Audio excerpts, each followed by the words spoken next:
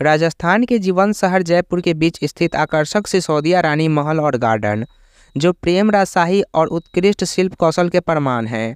1728 में महाराजा सवाई जयसिंह द्वितीय द्वारा अपनी प्रिय दूसरी पत्नी उदयपुर के सिसोदिया राजपूत वंश की चंद्र कुंवर के लिए निर्मित महल और उद्यान के एक मनोरम नखलिस्तान के रूप में खड़ा है, जो अतीत की कहानियाँ सुनाता है।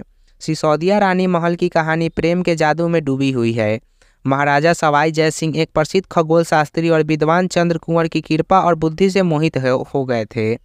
उसका हाथ जीतने के लिए वह एक अनोखी शर्त पर सहमत हुई। उनका बेटा जयपुर सिंहासन का उत्तराधिकारी बनेगा, भले ही उसके अन्य पत्नियों से बेटे क्यों न हो।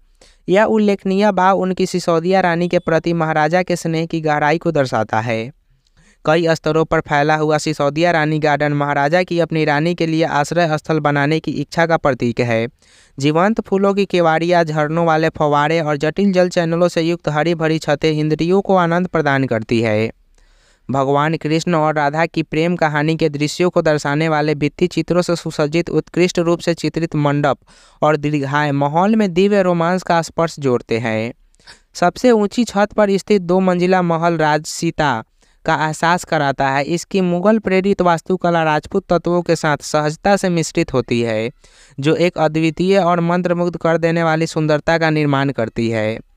जटिल जालीदार खिड़कियाँ, अलंकृत मेहराब और सुंदर अनुपातिक कमरे उस युग की शिल्प कौशल के बारे में बहुत कुछ बताते हैं। सिसौदिया रानी महल और उद्यान ने अपने दीवारों के भीतर सदियों के इतिहास को देखा है। महाराजा माधव सिंह का जन्म जो बाद में सिंहासन पर बैठे उन्होंने महल के विरासत में एक और अध्याय जोड़ा। रानी के निधन के बाद भी महल का उपयोग शाही परिवार द्वारा विश्राम स्थल और ग्रीष्मकालीन निवास के रूप में किया जाता रहा।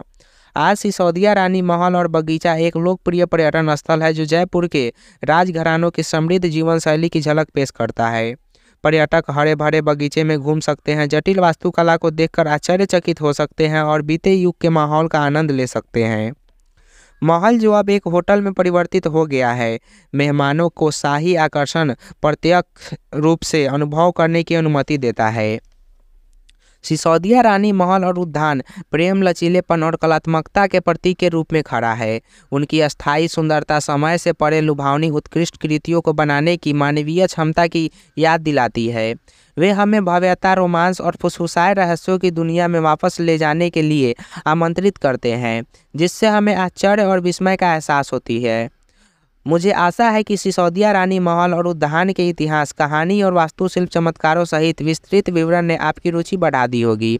और भी ऐसे ही महलों और किलों के बारे में जानने के लिए हमारे वीडियोज़ देखें, चैनल को सब्सक्राइब करें और वीडियोज़ को शेयर करें।